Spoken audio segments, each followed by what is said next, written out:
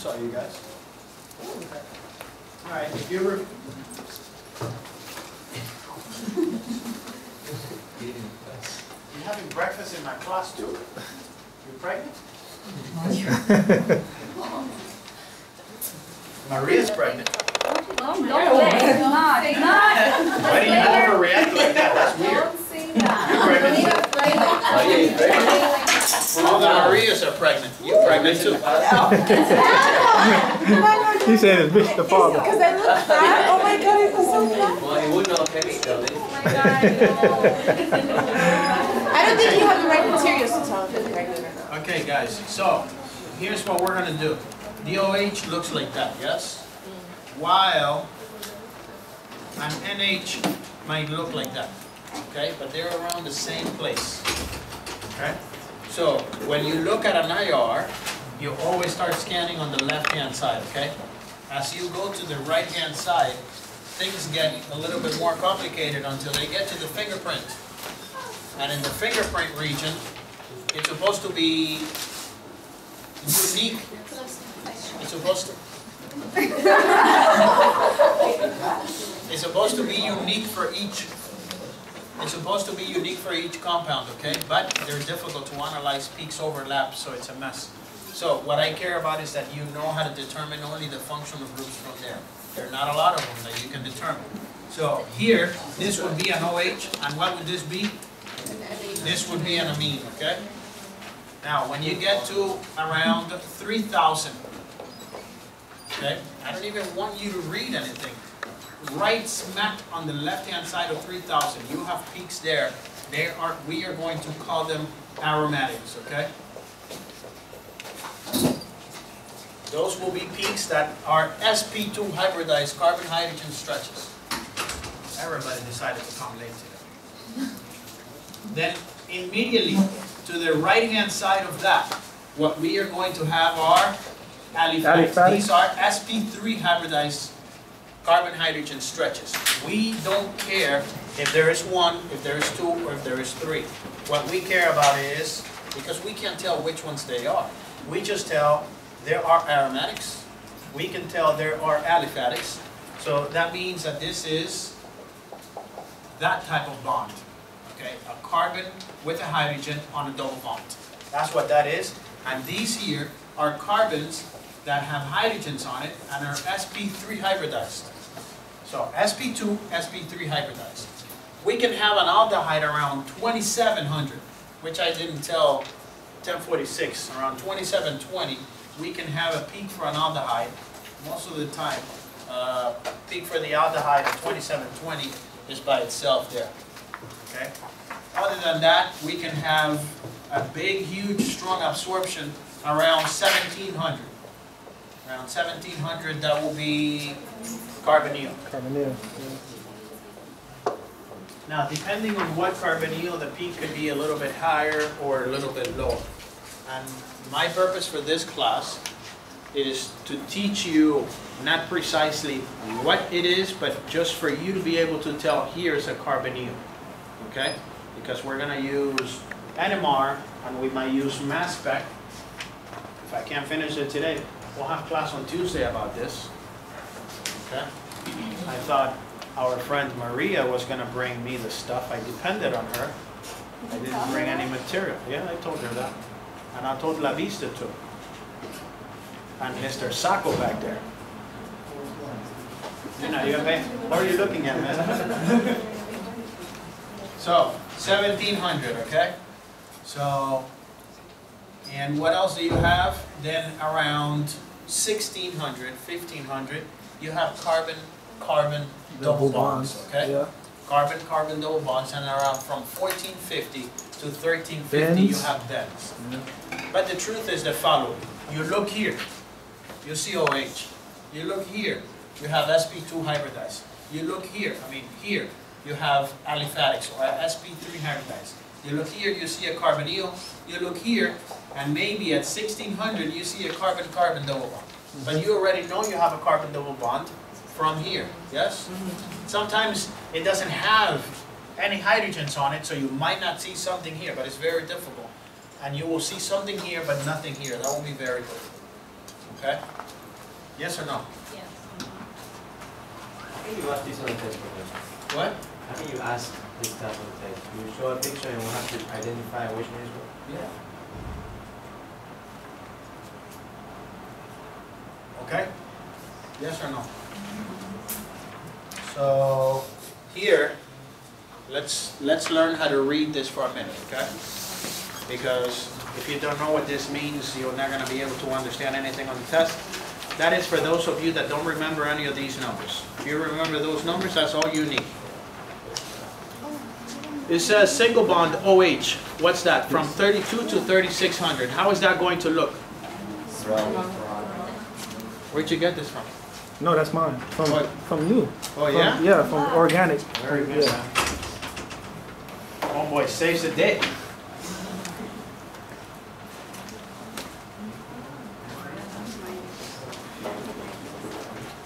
I don't, you, I ran out of papers for you. Come and get it. Those of you that are late, come and get the silly papers.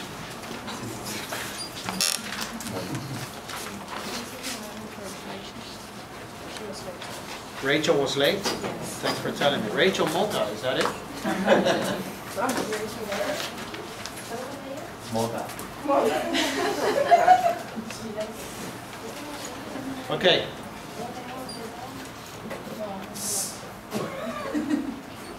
You turn this thing off.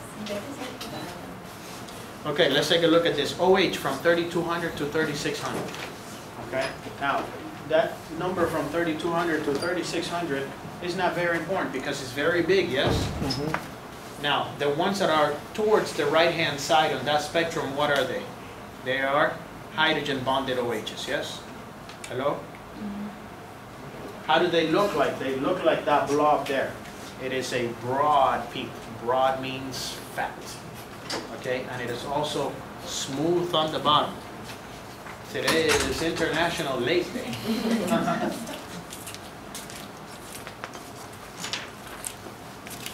Then you have a carboxylic acid, which has an OH too, okay? So it looks like a blob. Then you have an amine around there. You have a carbon-carbon triple bond at 3300. How is that going to look? That's going to look like a sharp peak, okay? Uh, then you have the carbon with a double bond and a hydrogen there. Those I am calling on that table there aromatics, yes? Below that is the aliphatics, and then at 2720 more or less, you have something called an aldehyde, yes? That's the carbon-hydrogen bond. We can also see that on NMR, we're gonna talk about that later. Um, then you have a 21 to 22, a carbon-carbon triple bond. That's not the hydrogen. That is the carbon-carbon triple bond. Yes, you see them? Mhm. Beneath that, you have a, what's that called, the functional group? Right. Nitrile. Yes. yeah. 2200. Below that, you have something between 600 and 800. Don't worry about that number, because that number is within the fingerprint, Yeah. which is 1250 and below, yes? Mm -hmm. We normally do not analyze those. Of course, people analyze them, right? We just not going to do it in this class, because we VIP. So, after that is carbon, oxygen, uh, not a lot of my interest, blah, blah, blah. I guess those, we don't like too much, yes? I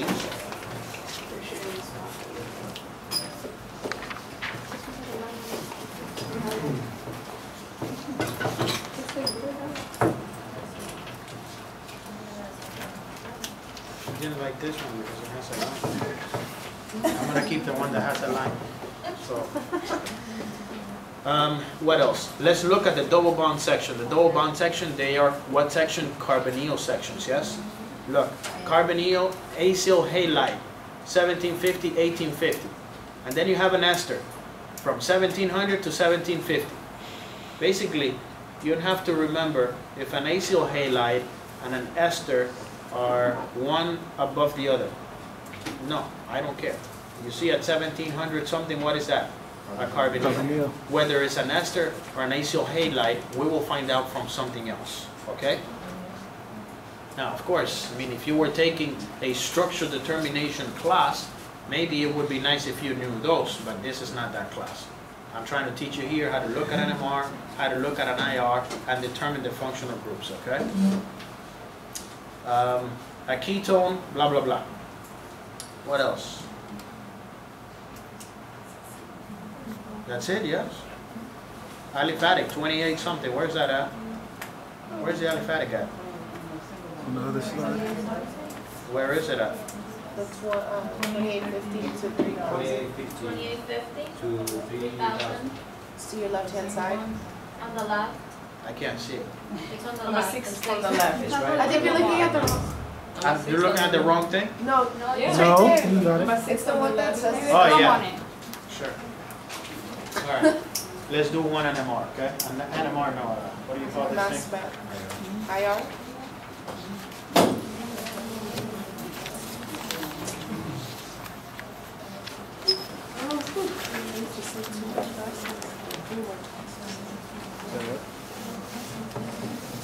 Hello?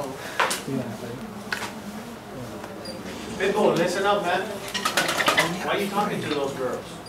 Huh? You're missing it. She's late and she started talking to me.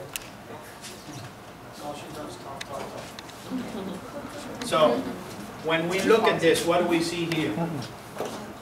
I know, it. well, he, he has a label, okay? There's tons of that in there, so you could probably go to another one. Let's make it smaller, right? Uh, Too big could not be good, too.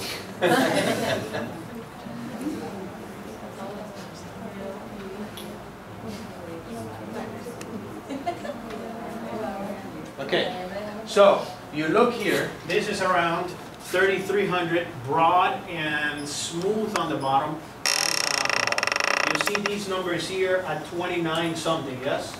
29 something, they are called the aliphatics. That means carbons with hydrogens on it. So this molecule has an alcohol, has carbons with hydrogens on it that are sp3, and then you continue looking this way, and what do you see here? Those are bends, okay? I don't care you analyze them bends. Okay, because the functional groups here are alkyl alkylate and alcohol. Okay? Yes or no? Should we do an NMR?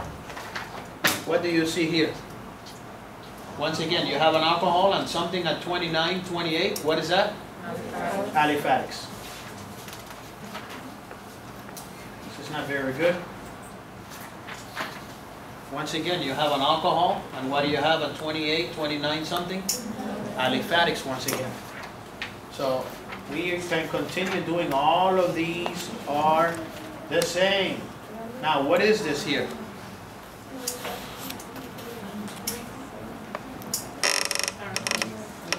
Now, this a 33, yes? Mhm. He said broad and smooth. No. No, it's not broad and smooth, and the other peak is also stronger peak. It's not broad and smooth. This has structure to it, so this is an amine. Okay? This is an amine. This is on this side of 3,000, this is at 3070, doesn't matter to me. Exactly, I mean, right to the left of 3,000, what is that? That is aromatics. Okay, so there could be a benzene ring here. This is an important thing. These peaks that you see here are a benzene ring. There is three peaks there. Now, some people can analyze whether they are orthopara substituted or not. We're not going to analyze this here. We're gonna leave that for the lab, yes? Outstanding lab. Some of you guys took in the back, where your professor from the lab explained all about this, yes? He or she spent two or three weeks explaining it. What's this? At sixteen hundred. Carbon, carbon, double Carbon, bond. carbon, double bond. But we already knew we had a carbon, carbon, double bond from the carbon hydrogen stretches on an sp2. So our molecule will have what? We'll have a benzene ring ring. because of those little peaks on the top. You Mhm. have to know them little peaks. Because of those little peaks on the top and because it has aromatics at 20, uh, 3050, 3070. So our molecule will have to have this, yes? The molecule has to have a benzene ring and it has to have an NH2. Where am I going to put that so far? I'm gonna put this, I have no other choice, yes? Mhm. Now, if it had something aliphatic, uh, maybe a carbon hydrogen, you'll see it on NMR, and then you have to place it somewhere here. Okay?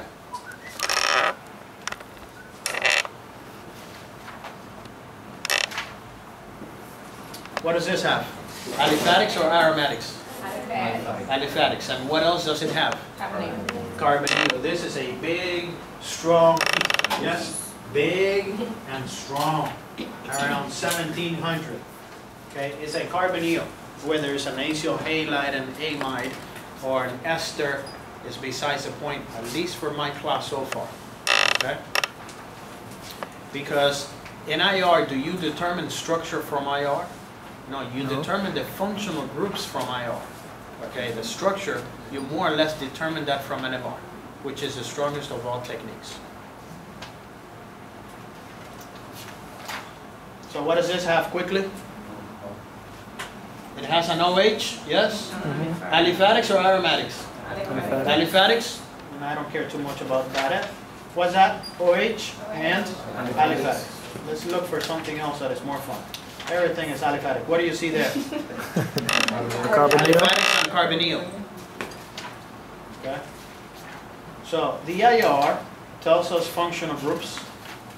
What do you see here? Aliphatic. Aliphatics and carbonyl. Oh, same page. They're the same pretty much because pretty much all compounds either need to have double bonds or single Single bonds. bonds. They can have carbonyls. If not, then we can't see them here very well. What else? This one is one that is a little complicated. What do you see here? You see an OH, yes? You see something at 30, 30, 30, 50, whatever that happens to be, those are called aromatics. There is nothing at 3000 ever, and then there is something right to the hand, hand, uh, right-hand side of that, which is aliphatic. Aliphatics. So this thing, does it have a benzene ring somewhere? Yes. If it has aromatics, if it has this peak here, mm-hmm. you could have that there. Most of the time, you have those, you have that, okay? Because we like to give benzene rings to you guys. And here is a benzene ring. And this benzene ring has an OH, and it has something that is aliphatic. Those could go together, or they could go in different positions on the, on the ring. Did it have any carbonyl, that one? No. No carbonyls. Do you have questions about this? Now, most of the time, I'm gonna give you an IR, and I'm gonna ask you to analyze the IR by itself.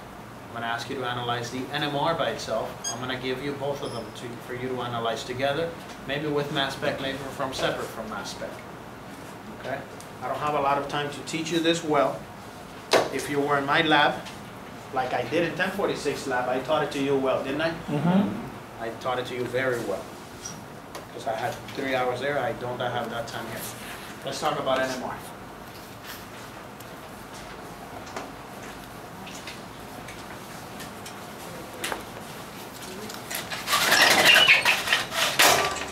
Now, what's NMR? NMR stands for nuclear magnetic resonance. Once again, I'm not going to give you details of how the machine works and this and that. I am just going to show you how to analyze them and how to determine whether it's a singlet, a doublet, a triplet, a quartet. I'm not gonna get into the little details of it. I'm gonna give you a big picture. Now, is NMR something that can be covered in one day? No. Something NMR that can be covered in one week? No. There are classes that spend a whole semester on NMR. So if I just tell you things and I don't explain it to you, that's not teaching, right?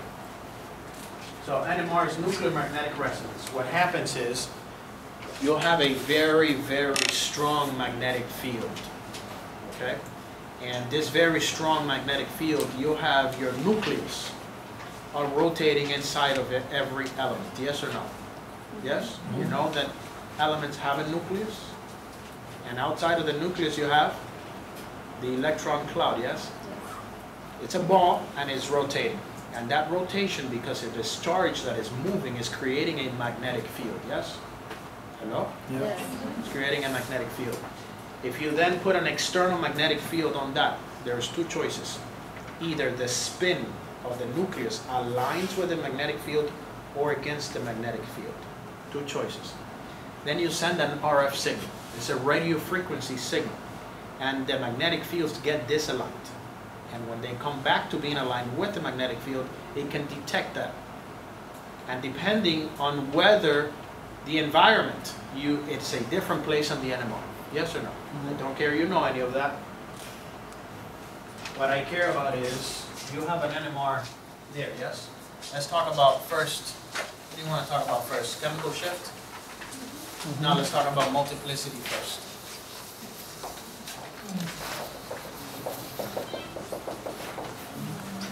This is called multiplicity.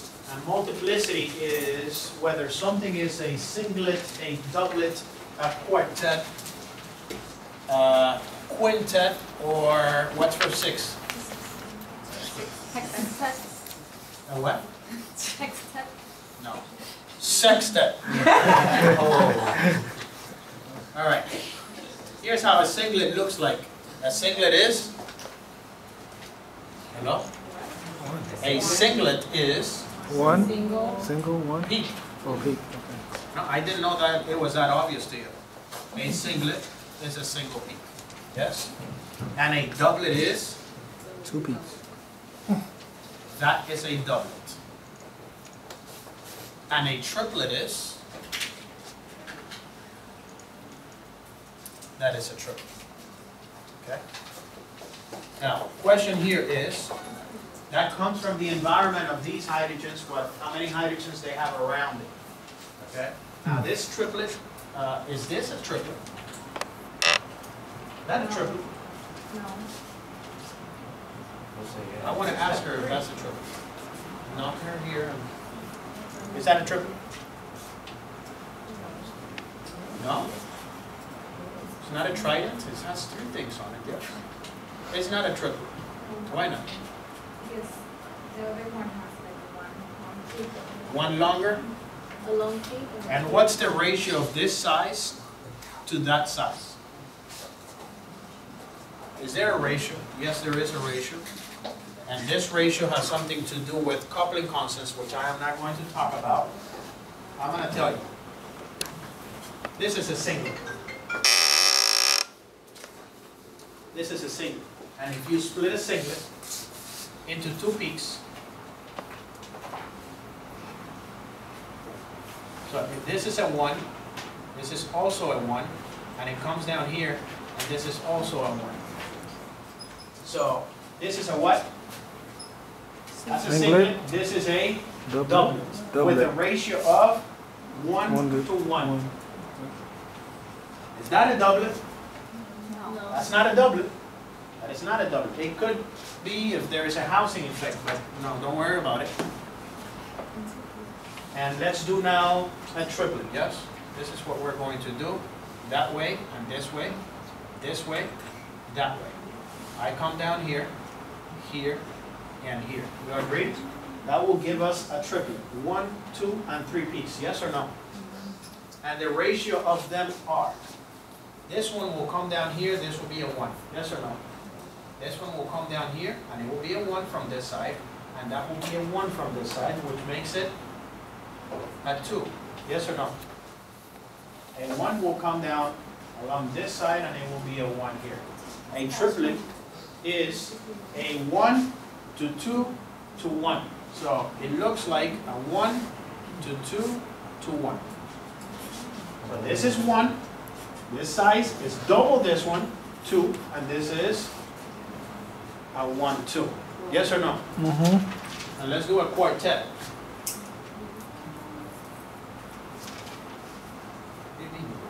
Wait, does this follow Pascal's triangle?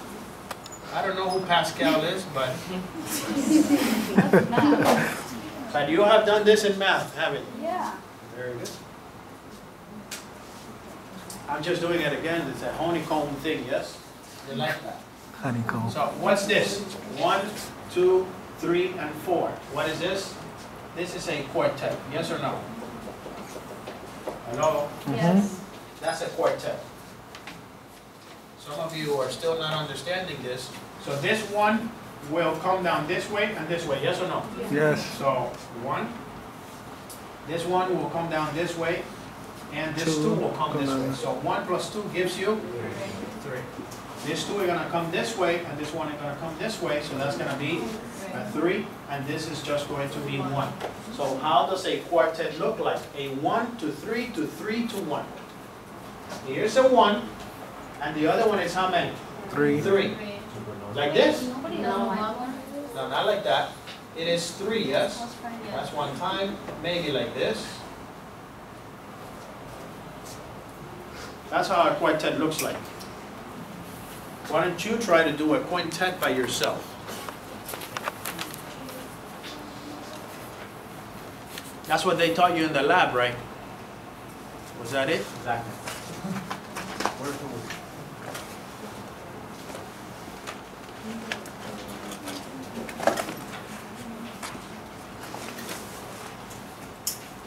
Now, how important is this? This is important because when you see them on the NMR, it looks like you got one peak next to the other. If they're the same height, maybe it's a doublet.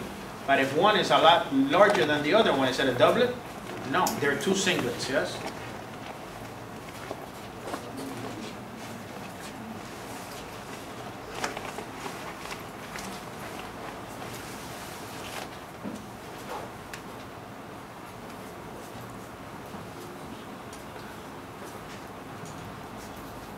What's the ratio? This is one, Yeah. And three. Four. three and three, six, four, and one. Woof. You think you can draw that? I can show you, I don't know how. Remember, me and La Vista have issues with this drawing thing, right? La Vista, can you draw this, a quintet? It's like taking a booger out with a boxing glove. You're just gonna be like that all day long. La Vista can't do it. Okay, I'm gonna try to do it, okay? I won't fail like him. Here's one, yes? The next one has to be four. Okay, maybe something like that. The next one has to be six. The next one four, and the other one like that. That is a quintet. It has five peaks. Yes or no? And then I'm not gonna do sextet, okay? Heptet and so on and so forth. More than likely, we will talk about triplets, quartet, quintet, and everything else we might call a multiplet, okay? Because they're not easy to see in the NMR. That is called multiplicity. That depends on the environment that your hydrogens are around. We are doing what is now called proton NMR, HNMR. Okay, proton NMR. So we are determining here the number of hydrogens, yes? So I have this peak here. Now, if the hydrogens are a different signal in the NMR. Are these hydrogens the same thing as these hydrogens? No. So this is one signal in the NMR, and this is another signal in the NMR. The multiplicity of this signal, which is based on that, is based on a rule which is n plus 1. Okay? So you look at these hydrogens, and how many hydrogens are next to this three hydrogens? How many? There is two hydrogens, and the rule says n plus 1, so 2 plus 1 will give you 3. So wherever this is in the NMR, it will be a triplet. So it would look like that. Now, what is this going to look like in the NMR? What does it have next to it? Three hydrogens. So the rule says 3 plus 1, this is going to be a Quartet. quartet. Yes? Whenever you see on your NMR a triplet and next to, uh, not next to it, but somewhere a quartet, more than likely you are in the presence of a CH2, CH2, CH3. Yes? Pitbull, Got it. you got it? Very good. Very easy. Very easy, I agree with you. It's like everything you do. That's right. That's how we like it. Nice and easy. We don't want to work for that. This is attached to something else, okay? Give me the multiplicities on those. First of all, is this CH3 different from this CH3? This is CH3 and this is another CH3, yes? They are the same. You- Somebody can say, oh, they're an enantiotopic. We're not gonna talk about that in this class, okay? We just don't have the time to do it. I wish we were in the lab. By the way, who took the lab here? Did they talk about this in the lab? They did No. not talk about it anymore? No, we don't No, talk not about at all. So we have no idea what it is. If it were up to me, you guys would have spent in that, in that organic two lab, you would have spent half of the semester doing derivatives, like carboxylic acid derivatives, oxime, hydrazone, all those. We did. You did those? And then you would have done NMR, you would have done IR, you would have done all those There's always things. IR questions on the lab manual. But one. Okay, well, CH3 and CH3, yes, they're supposed to be, let's say they are the same here, because they're both CH3s that have the same environment, let's say. So, these two, because they are the same, is going to be one peak, yes or no? This is going to be one peak. And what is that one peak going to be? Doublet, singlet, triplet, what is it? Quartet? What is it going to be? Well, the splitting is only three bonds away, yes? Splitting most of the time, there is long-range coupling, but splitting is three bonds away, meaning that if there was something else here, would not split that far. Okay, a carbon with hydrogens. One, one, two, three bonds away. If it were four bonds away, it wouldn't split. You wouldn't see it in the NMRs that we're gonna do, you're not gonna see it. So, what is that CH3 and this CH3 going to be? It's next to one hydrogen. So what is this going to be? This CH3? Hello? N plus one, this will be a double. What is that CH3 going to be? A double. If they are the same double, and they have the same chemical shift, which is where they appear in the NMR. Those two doublets will be on top of each other, yes? And from being that doublet, and you add another doublet underneath, the doublets will be bigger doublets. Why do you go off of that H? Why do you say N plus one that H? Because it has to be three bonds away, this is four bonds away.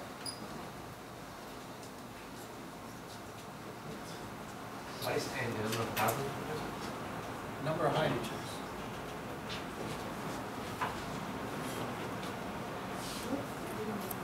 What didn't you get? You gotta ask a question.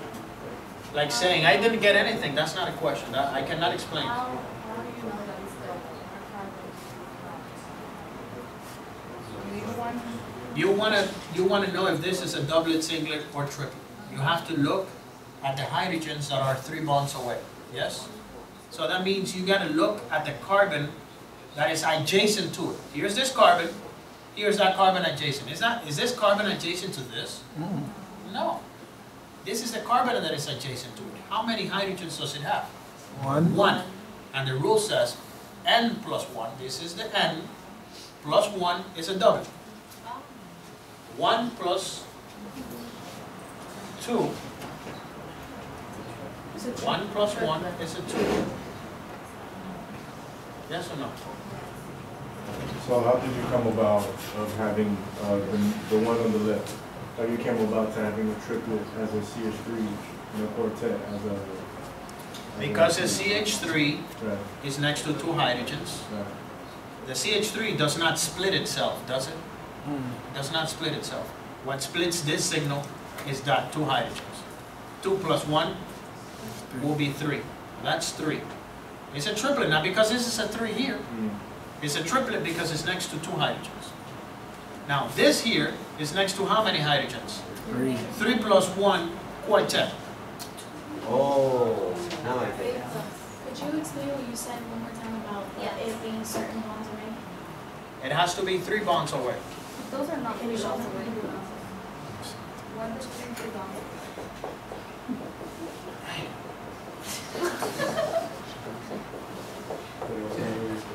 Yeah, I lose my, The bonds?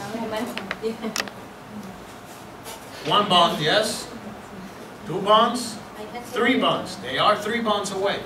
If you can't see, maybe you should buy glasses And then which, because of my broad back. I've been working out, so my back is very broad. So, three bonds away, yes, they split each other. If I had here another CH2, would this hydrogen here, or these two hydrogens, will it split this? Mm. Will it split this one? Yes. This here will be split by that, and will be split by this. So let's do this one. What is this going to be? What, this signal, wherever it is, what is it going to be? What multiplicity? You don't look at this, right? You look at what's next to it. How many?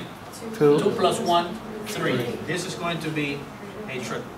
You look at this one. What, how many hydrogens does he have next to it? Three from there, two from here, five plus two is sextet? five plus two? Seven. What plus two you talking about? What plus two? How how you have plus two? Why? Because I said, I lied. The rule is n plus one. One, two, three. Yes or no? Four, five. Plus, not plus two, yes, plus one. Is six. So you have to count all of the nitrogen around? That's what I said since the first moment. No, that's what you said. That is what I said. That's what you tried to say. I I said adjacent, adjacent hydrogens. Six.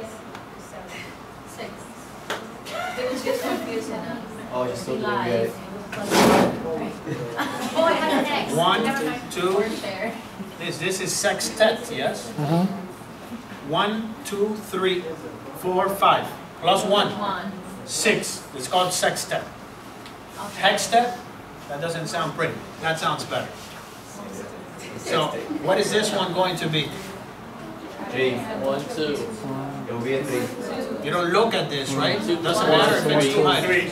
Three. Two, this is going to be a triple. There we go. That's okay, you guys slowly get it over time. Don't blame, don't put it on me. It's not me. It is you. But that's okay, I will explain it to you. Like you're we have to having use the trouble. calculator for the test? Are you kidding me? Okay, let's do another one, yes? Is this clear? What's this going to be? Seeing it like that is more complicated. Seeing it like what? Like that. Put that like that. You can't see it like that? No. You want it like this? It's even worse. How do you put that structure better than this one? Okay. Like this? So you want to see it? Yes. Okay. So what's this going to be? Six. Because we're, one. Six. Seven. We're talking about hydrogens, not carbons. This is called proton NMR. It's going to be seven. Okay. This hydrogen has how many hydrogens adjacent to it? Three there, three, here, that's six. Six plus, plus one, one 7. So this is going to be a septet.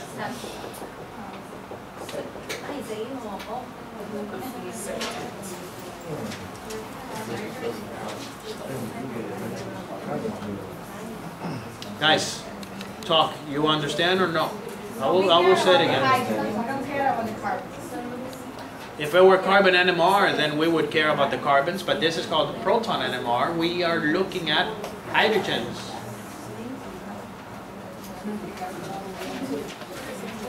Gosh, you're so quiet today. You got it? You got it? You got this? Gouch just said septet. You got it, man, you got it. But I think you're talking, I get nervous. Okay? Yes or no, guys? Is that Yep. good? Mhm. Um, most of the time, if you have anything past, like a septet or sextet, we'll just say that is a multiplet. Means there is a whole bunch of hydrogens next to it, because the truth is, for this to be, I confuse some of you, but I don't wanna say when it's a lie, yes?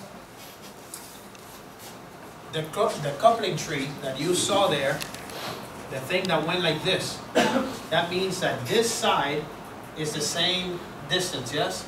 But if you have something that is splitting it with a different signal, with a different length, they will not land on top of each other. And these two will not add. And that's called different coupling constants. If these coupling constants are the same as this, and I'm saying this, but I don't want you to know this, you hear me? If they're the same coupling constants, then it's all fine. Why you interrupt me when I'm on the I'm not So, five plus, five plus one is six, yes? Mhm.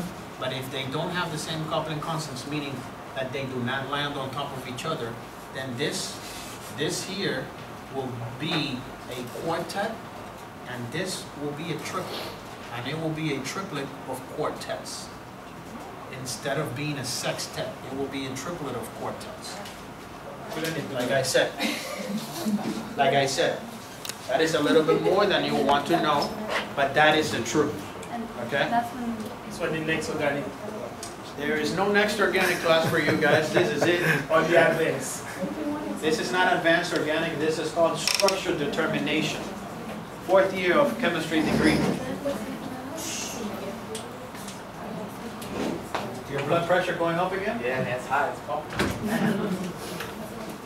La Vista, what's happening, man? He's beating you every time. All right, let's talk about chemical shift. What was that called? Multiplicity. Multiplicity. Chemical shift is where the signal comes about. And the signal comes depending on what they are, according to this little paper that I'm gonna give you again on the final exam. Okay? Now, let's take a look. On the top, what does it say? Top left. Chemical shift for protons in different electron. Top left, what does it say? Rachel, Type of proton. what does it say on the top left? She doesn't even have paper. Type of proton. But she took it for you, chemical yes. Yeah, yeah. We fled. Listen to me.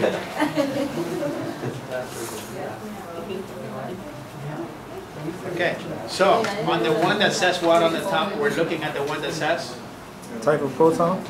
The one that says chemical shift. Maria, what did I just say? Chemical shift. Why are you talking? The one that says chemical shift, the one on the left-hand side on the top is what? RCH3. What type of carbons with hydrogens are those? sp2 or sp3? They are SP3. sp3 hybridized, okay? sp3 hybridized, and next to it, you have more sp3 hybridized carbon with hydrogens, okay? Now, this says that it's where? Around 0.9. Let's make that an easy number, yes? Let's make it 1, okay? So, I'm never gonna ask you for that, okay?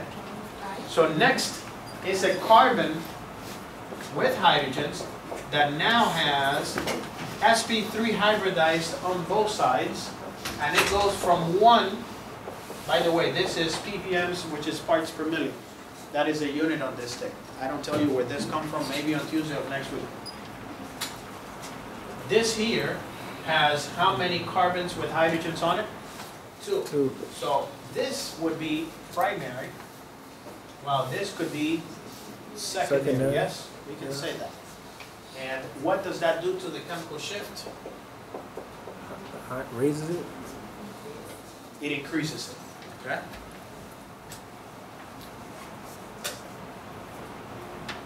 What's next? SP3. What's next? Tell me. It says there? Methine? methine. I don't even know what methine is. That is a carbon that looks like it is tertiary. Tertiary. It is even higher. I don't care what the number is. It's crazy to do this because depending on the group, it'll be on one side and on the other. What I care about is that the more substituted the carbon is, the higher the number. And it will go from like one to two. Okay? Now then you have something that is vinylic. And this something that is vinylic is around what ppms? Four point five to six point five? Four point five. Four point five to six point five. So something that is on the carbon-carbon double bond will be around, around what? Five to seven? Five to seven? Guys, Four point five to look at it here. Why are you looking at me? Four point five to We're six just point rounding it five. off. Four point five to six point five. So you'd say around five ppms, yes? A little bit higher, a little bit lower. Alright, five ppms. You have something.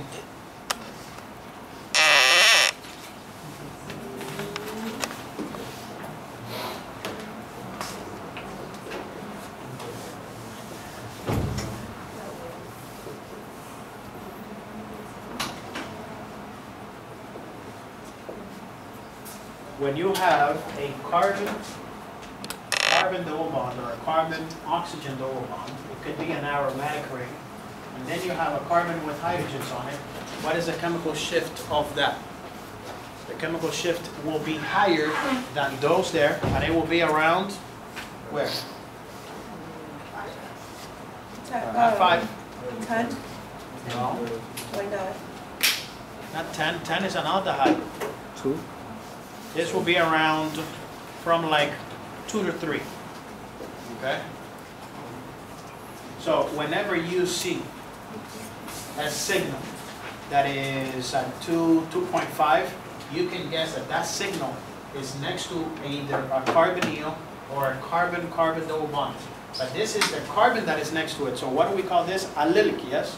Mm-hmm. That is allylic. If we Okay. keep going on this thing, you have carbon-carbon triple bond, 2.5. So the triple bond and this double bond, they're within the same region. And then you have- Aromatic methyl, An aromatic, which is around two point two to five. three, Yeah. two to three. All of these with carbon-carbon, either double bonds or triple bonds, are around the same region. And two to alcohol three. too. Huh? Yeah. No, always different. alco- Yeah, alcohol is two to five. Yes or no? Yeah. That's from like two to, two to three, yes? Mm-hmm. And then you can put a halogen on this thing. This is from like two to three. Then you can put a halogen on it. These hydrogens with a halogen, or these with an oxygen on it. Now these hydrogens that have next to it an oxygen or that have next to it an electronegative element will be higher. And what's the number? Two to five. What does it say? Where is that at? That's This is where it one to the says right. Alkyl halide, Yeah. right? First one Yeah, on the top. one, yeah. And on the bottom it says alcohol, Uh-huh. from two to five. One is from two to four, and the other one is Two from two to five. five. So what are we gonna say?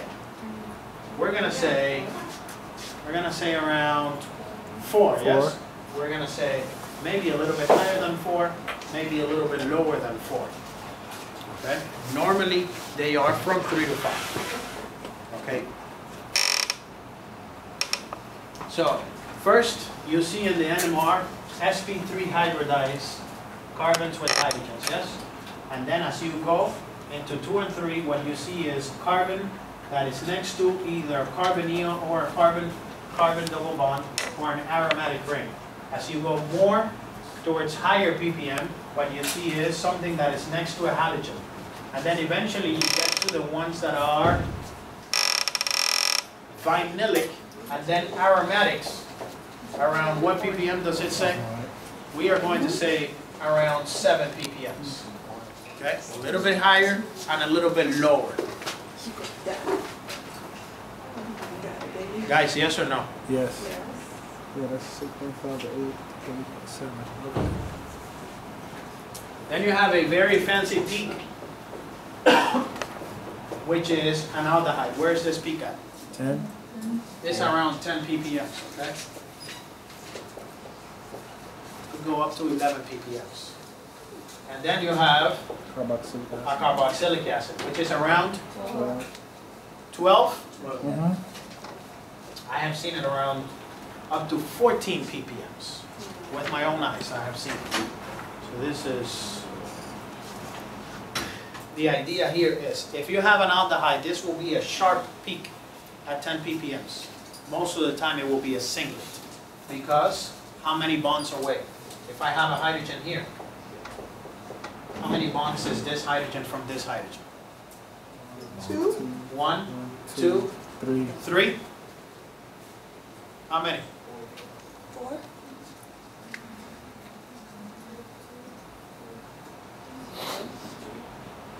Okay? The aldehyde is most of the time a singlet, okay? Most of the time a singlet. Now this alcohol, not alcohol, this carboxylic acid, most of, most of the time around 14 ppm, it's not gonna look like a sharp peak. This peak will look like that, not that much. This peak will look a little broad, okay? Now what I want you to know from here is, you wanted to learn about deuterium exchange? Did you say it- it'll be brought for the carboxylic or for the aldehyde? For the OH, no, the aldehyde, no, the aldehyde is sharp. Okay, so let's say, this is what we have, this is an NMR. And let's say at one ppm, I have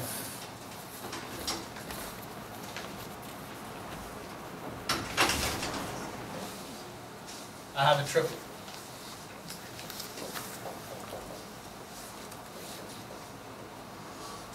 around four ppms. I have a quartet. What can you tell from that so far?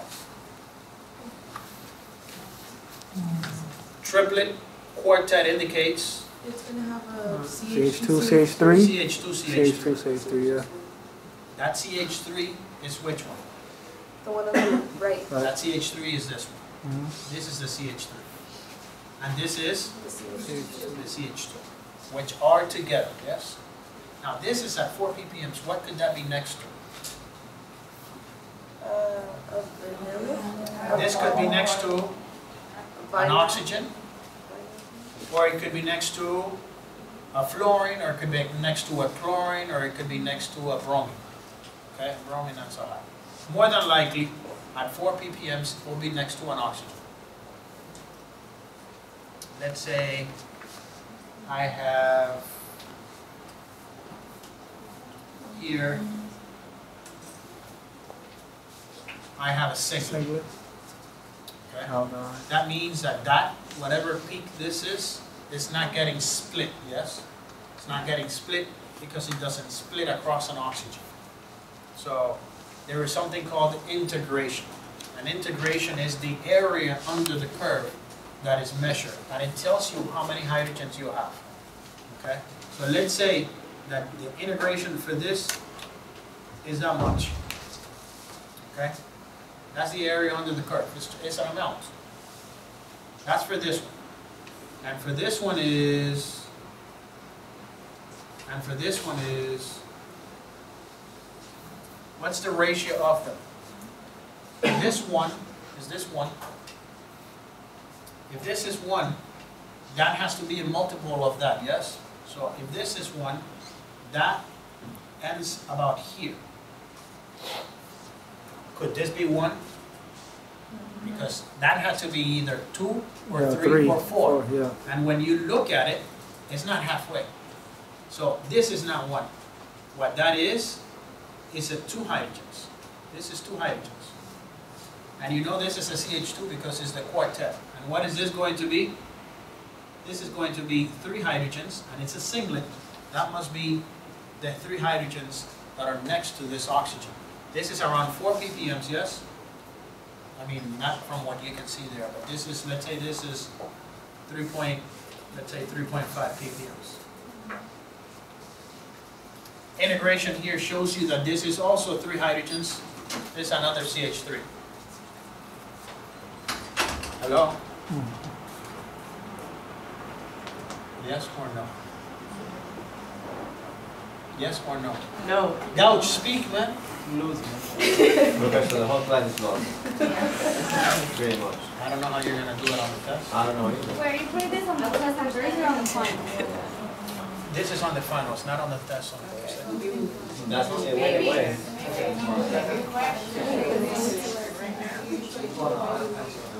This is a question. What is the answer? This is the answer. You don't see? How can you formulate the question? If you would put a sample question, that's what you would put on the exam. That is a sample question as I would put on the exam. Let me give you another sample question as I would put on the exam. Well, Yes? how would you ask it? Here's the NMR. Guys, but be quiet, don't talk so much because you'll miss the things I said. I'm gonna start smacking people with this. So, let's say I have a singlet and this is at two ppms. Yes? Let's say around seven point three ppms, I have a mess of peaks. That's a ring. Let's say I do this integration. And this is that. And I do this integration. And this is that.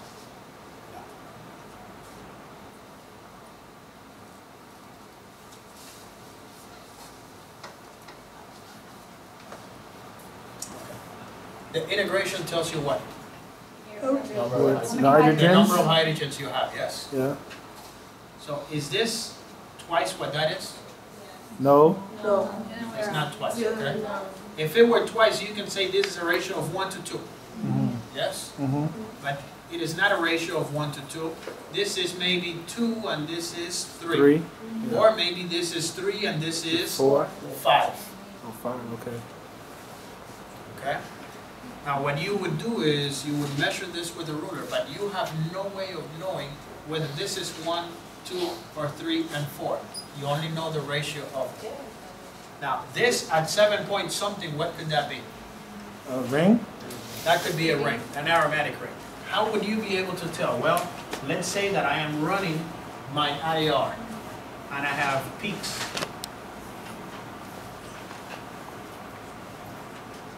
And this is 3,000. No. Messed that. That's 3,000. 3,000 on this side of 3,000, what does that tell me? Aromatic. And what does that tell me? Benzene. ring. And what does that tell me? Benzene. Ring.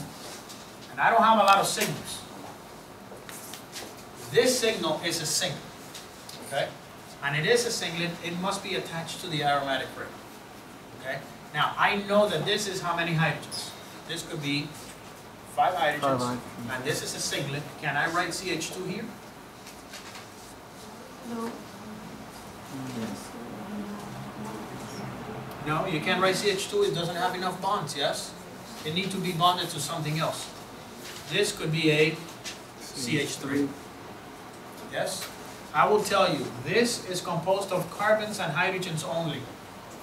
Now, this is at 2 ppm, that means it is next to a benzene ring. Yes or no? Mhm. Hello? Yes. Next to a benzene ring.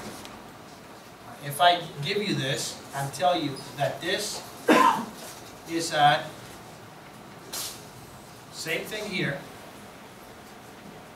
at seven, let's say seven point three, and this is at four ppms. Is that next to a benzene ring? Is this singlet next to a benzene ring? Could that singlet be that? No.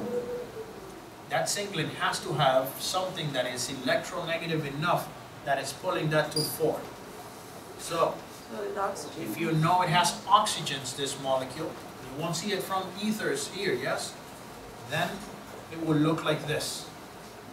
So this here would look like that. And that would look like this. Yes or no?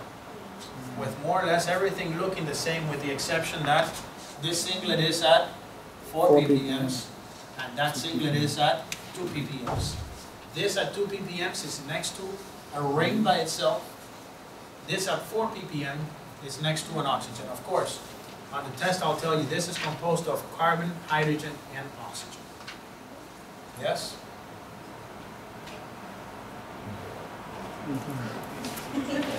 So, same thing, yes, same thing. And I tell you, this is composed of carbon, hydrogen, and chlorine. Give me a structure for this. Then a ring. uh, yeah. Same NMR as this is. So you just run this row. Something electronegative. I see it. It's gonna be a vector. Um, Like, have, like, for example, on the top one, you know you have a multiplicity, so it could be an aromatic ring, and this is a singlet. But doesn't a singlet mean n plus one is, There is no carbon to, it's four bonds away. The hydrogens are more than four bonds away. No, they don't split. So they gotta be. three Whatever bonds is on a benzene ring does not split that, and that does not split the benzene ring. Because this is one, two, three, and four bonds away. So, tell me, how can I build a molecule that has carbons, hydrogens, and chlorines that follows this? A ring, a ring with a. A ring, yes, Yeah, with what? with a chlorine on it? Like this? If I do this, let's say I do this. If I do that, okay? What that means is that this would be where? What's the, what's the chemical shift for this? One. Next to an aromatic ring, yes? It Would be two ppm. But mine says Four at four ppm. ppm, so it can't be that.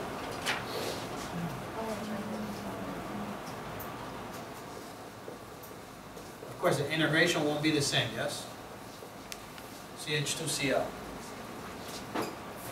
Yes or no? Yes. Okay? We are slowly working, don't worry. We are going to get it eventually, hopefully. Right? You imagine, I used to do this in 1046 lab. you should consider giving the same one to this, yeah. The same one as this? What are the odds that I'm gonna remember what I did in class? Right? It's on your videos. You think I watched them videos? You're crazy, I have never even, if I look at myself in them videos, they're all calm me down. You have no idea. I get offended by looking at myself. Why? Isn't it obvious? Okay, so let's say, oh,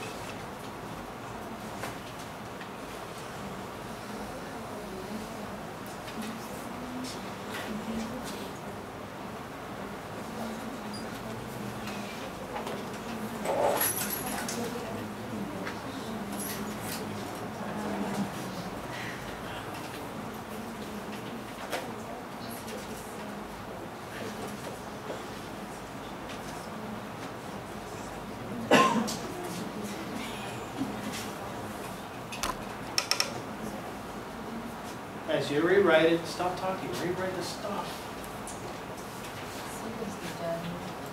Why are you guys talking so much? You don't understand. What it makes me feel is like giving you more of it so you fail the test. Because you're talking gets me like you are not caring about the class. And I'm about to throw something that way. Stop playing around. It's not a game. You don't understand this because you're talking, so don't ask me questions. So,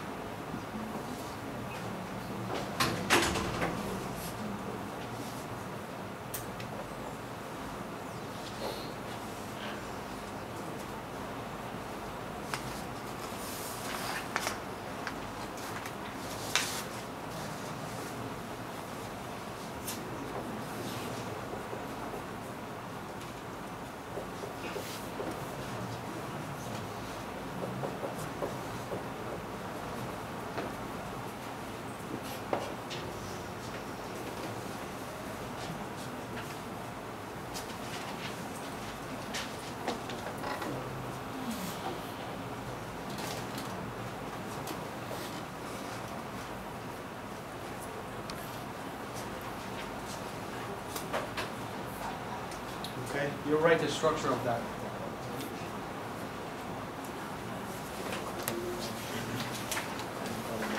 Here, question. Oh, thanks.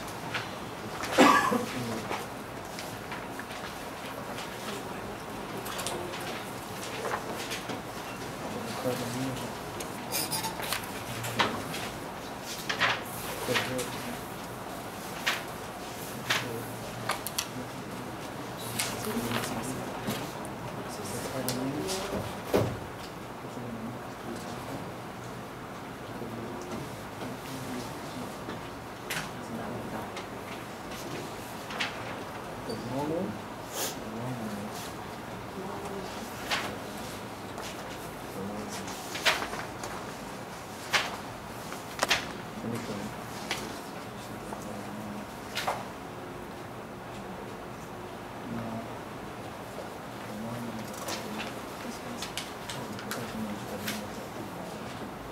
No, that's, The one left hand. And then curve and curve.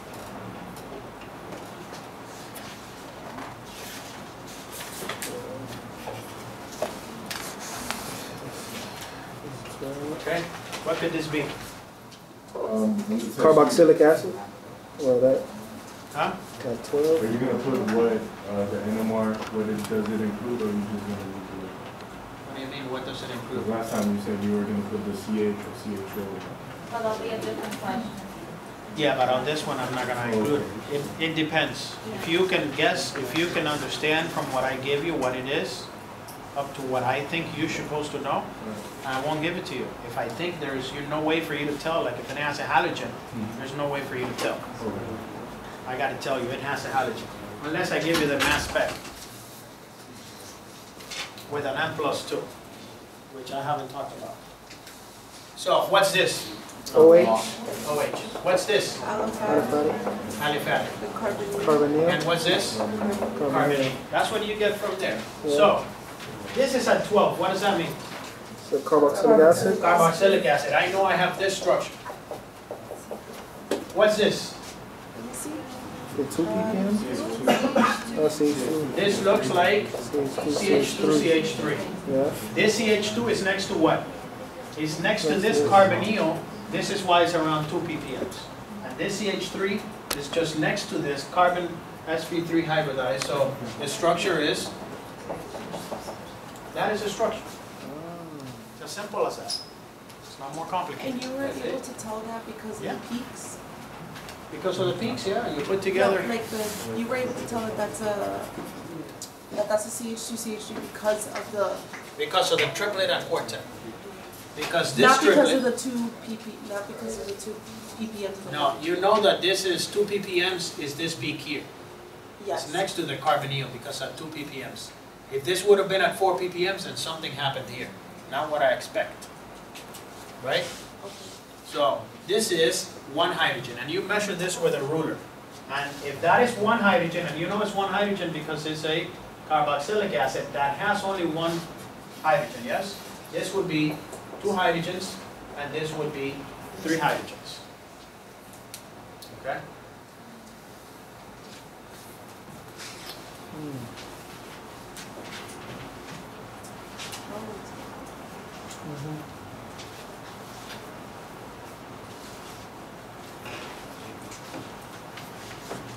Maybe we should do, maybe we should do a little bit of mass spec, yes? Mhm. Okay, Professor, mass spec. Yes. uh, one more thing, like, that little bar that you drew up in the, uh. The little what? That little bar that you drew up, right by the, The one that says one hydrogen. yeah, the one hydrogen. So these, um, their goal as, what I'm trying to say is, um, the bigger there are, it, it depends on how many hydrogens are connected to it. Yeah. Mass spec, write this down.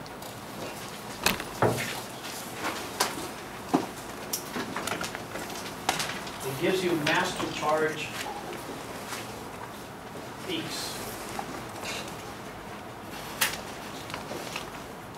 there is something called molecular ion peak. Molecular ion peak is the molecular weight of your compound.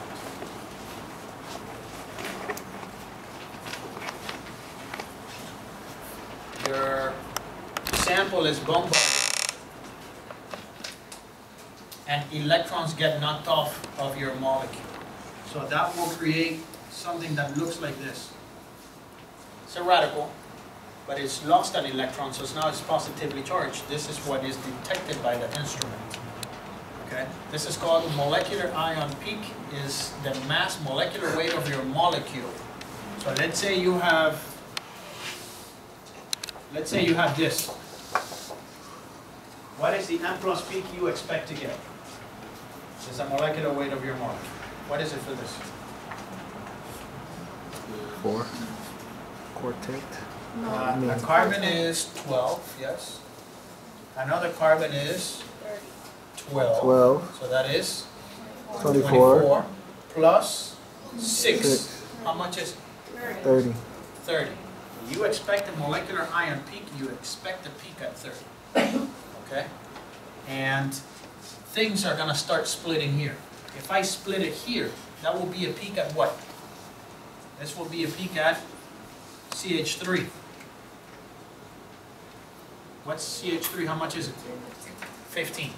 So you see a peak at 30, that's a molecular ion peak. You see a peak at 15, CH3 broke off. Let's say I have this. This is toluene, yes? Why do we need to know this? What do you mean, why? I don't know. That's the question. That's not a question. It's like, why, why, is- why, why, why am I getting white hairs? You don't answer my question. Because your question is, I'm gonna smack you if I answer. You need to know this because there, this is the way you analyze compounds, yes? If you don't mm-hmm. know what something is, what do you do? You can do mass spec, you can do NMR, and you can do everything else to determine the structure of something, yes? Let's say you found that some antibiotics are saving thousands of people, yes? Mm-hmm. Do you just not care what the structure is? You gotta find the structure. You gotta find what it is, so you can maybe do something similar to that and make new antibiotics. You'd use mass spec, NMR, IR, and all these things. This is called characterization. What's the molecular weight of this? Hmm? Ninety-two, yes? Is it ninety-two? Yeah. I don't know. One, two, three, four, five, six, seven carbons times twelve, how much is that? Nice, put it in your calculator. More. Eighty-four. Eighty-four plus one, two, three, four, five, and eight, Eight. how much is it? Ninety-two. Ninety-two? Ninety-two. Don't use your brain. Ninety-two. Right. Okay, good for her. Bitch, that thing is five points. You're looking to get into, For what? so, you, you expect a peak at what? At ninety-two, you will get a peak. This peak is called molecular ion peak. Yes or no? Now, what other peak do you expect to get from here? You expect the peak to break there. Mm. Where would the next peak be at? At fifteen. Uh, Fifteen. Ninety-two minus fifteen, what is it? Seventy-seven professional.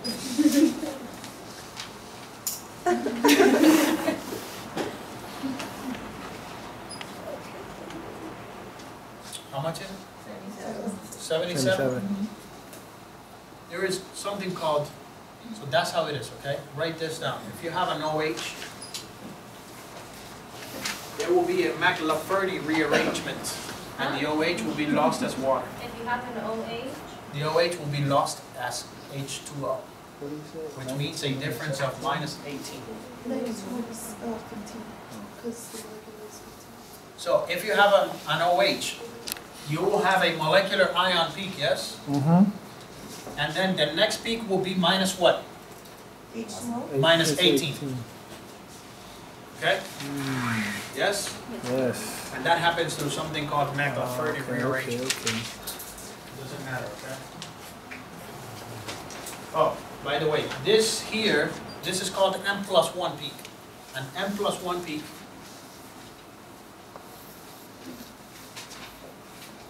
M plus one peak is for carbon thirteen. So, every time you run a compound, you will see that there is a peak that is M plus one that is small, okay? Now, depending on how many carbons you have in your molecule, the percent abundance of carbon thirteen is about one percent.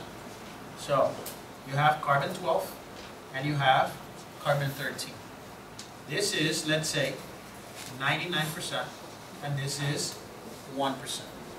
So the height of the peak, if it is ninety-nine, and to one, that means you have one carbon. There is a possibility that depending on the number of carbons you have, this peak will start growing. And you can tell how many carbons you have by the size of this peak. So let's say you have three carbons. There is a possibility that all three carbons of this molecule you run is one percent, so this should be three percent. So three percent means three carbons, twenty percent means Twenty carbons. twenty carbons. Okay? M plus one peak is for, coming from where? Carbon thirteen. Is that only for carbons? Can that happen with other elements? Everything that has carbons will have an M plus one peak. Right. Everything that has a carbon will have an M plus one peak. If it is another element, it depends on the isotopic abundance. So let's say for chlorine, isotopic abundance is seventy-five percent. Let's say chlorine thirty-seven and chlorine thirty-nine, so the peak should look like this.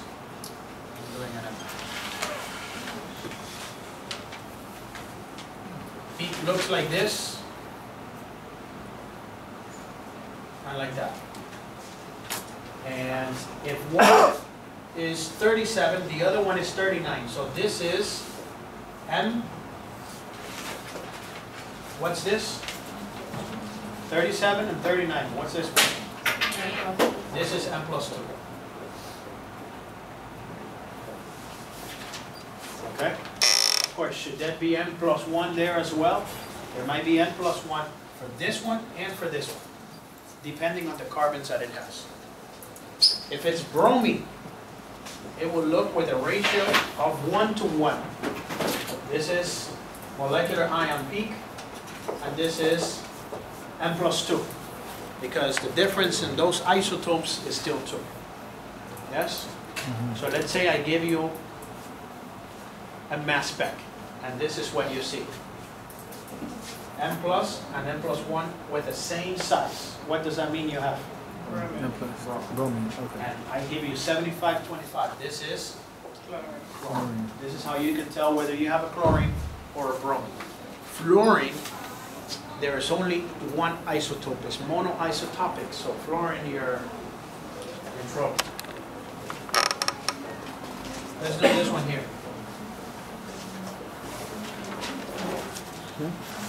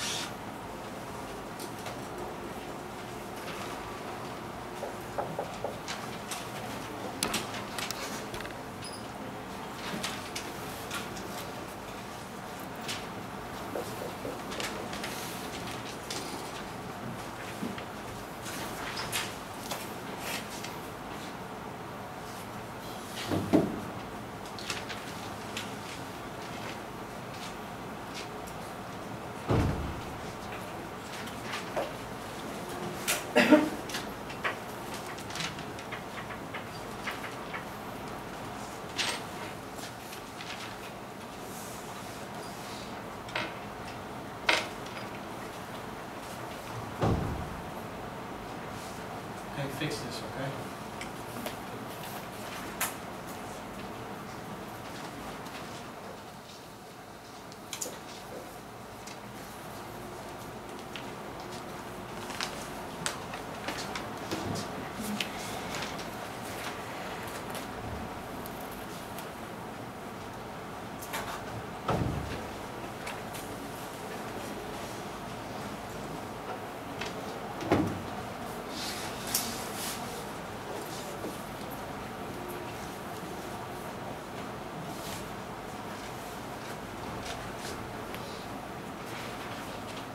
You know what, I forgot to say something else. Write this down, the biggest peak on the mass spec, the biggest peak on the mass spec is called base peak, and it's one hundred percent.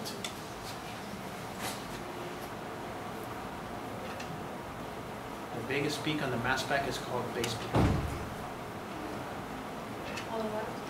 Base Huh? fee. And it's one hundred percent. Okay, so what do we have from here? Oh, it, Alcohol. What do we have from here? Aliphatic, Aliphatic. Okay. Can't tell much from there. But we have an alcohol. mm-hmm, It means that a peak of those, that is a singlet, has to be one hydrogen, yes or no? Yes. So I'm gonna have an OH. I'm gonna have a triplet, yes? Where did the triplet come from? What does a triplet have next to it? See, C2, CH2. This triplet has next to it something, and it is at four ppms, yes? yeah, And it is at four ppms because what's next to it, next to it? electronegative. uh, What is next to it Oh. It's an electronegative element like oxygen. So I am guessing that that's what's happening. There is an OH, which is that singlet, because I can tell from that that there is an OH, yes? This OH is next to a carbon. This carbon, I don't know how many hydrogens it has, but I know that it has how many hydrogens next to it? Two. So that could be a triple, which is that. So if this is integration one, that has to be three of those.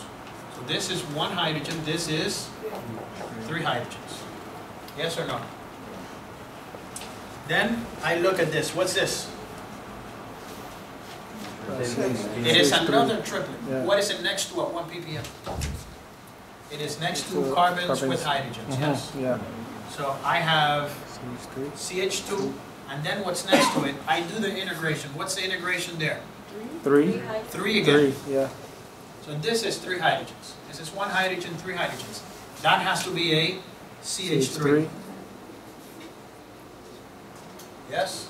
yeah, According to integration, this is a CH3. According to integration, that is a CH3. Okay? And that's one H. I have this on one side and what appears to be that on the other side. There is two choices. This carbon can be the same. That means this CH2 and that CH2 could be the same, meaning I could have this here, or this carbon and that carbon could be different, and I could have this on it. I can't tell, right? I look at the integration here. What's this integration? six. Five I or see six, five. five or six, You see five? Four. Four. or four now, I mean, Yeah.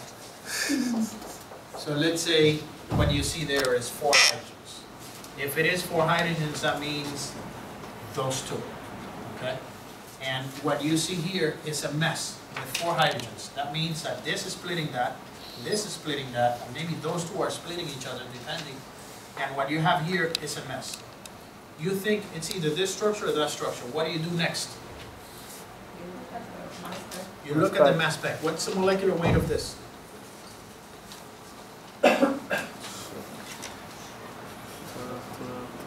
So calculate in your head, find your cell phone, put it all in there.